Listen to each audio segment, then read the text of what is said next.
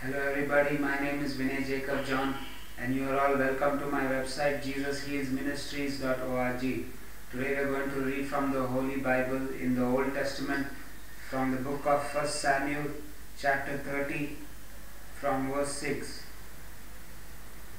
King David of Israel encouraged himself in the Lord Jehovah Jireh his God. And David said to Abiathar the priest, Ahimelech's son, I pray thee bring me hither the ephod. The ephod is uh, the clothes of the Levitical priests uh, uh, who uh, did sacrifice uh, for uh, in God's behalf, like a mediator between God and man. The Levites, they were called the Levites.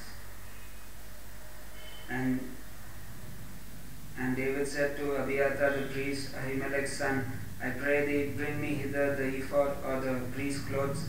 And Abiathar brought hither the ephod to David. And King David of Israel inquired of the Lord, asking, Shall I pursue after this troop? Shall I overtake them? And the Lord God Jehovah answered David, saying, Pursue, for thou shalt surely overtake them, and without fail recover all.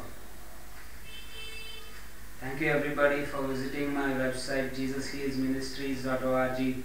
I am Vinay Jacob John and Jesus loves us all.